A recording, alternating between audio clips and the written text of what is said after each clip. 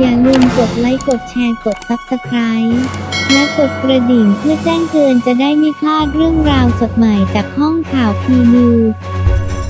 เอาละครับคุณผู้ชม จับโป๊ะเวียร์เบลล่าควงลั้นลาที่ญี่ปุ่น บินไปทำงานไกลถึงญี่ปุ่นนะครับสำหรับนางเอกสุดฮอตนะฮะเบลล่าราณีแคมเปน พร้อมกับมีภาพเดี่ยวสวยๆนะฮะลงในอินสตาแกรมให้แฟนคลับได้กดไลค์กันรัวๆ รวมไปถึงฝั่งหวานใจอย่างหนุ่มเวียร์สุกลวัฒน์นะครับ ที่เดินทางไปท่องเที่ยวประเทศญี่ปุ่นด้วยเช่นกัน แม้ว่าทริปญี่ปุ่นของเบลล่าและก็เวียร์จะไม่มีภาพคู่ออกมาให้แฟนคลับได้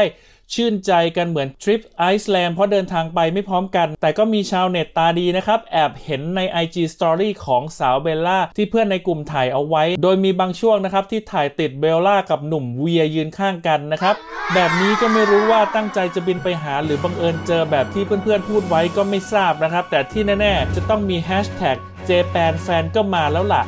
ขอขอบคุณข้อมูลดีๆ จาก Nine Entertain ฝากพีนิวส์ Facebook Page Twitter ห้องข่าวพีนิวส์ และขอขอบคุณทุกท่านที่ติดตามแล้วเจอกันใหม่ สวัสดีครับ